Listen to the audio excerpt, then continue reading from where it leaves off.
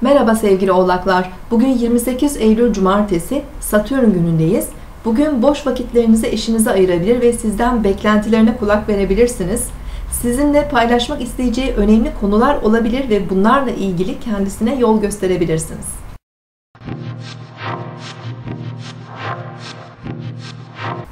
Burcunuzu dinlediniz. Bugün 28 Eylül Cumartesi Satürn günündeyiz.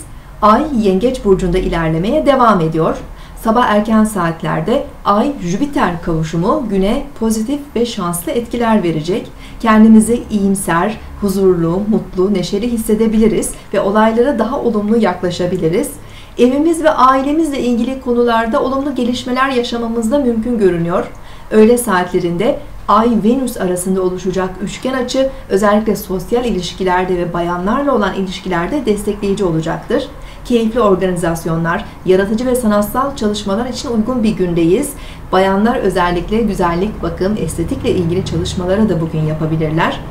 Venüs-Mars arasında oluşacak kare açı özellikle karşı cinsle ilişkilerde enerji ve çekimin çok yüksek olabileceğini işaret ediyor.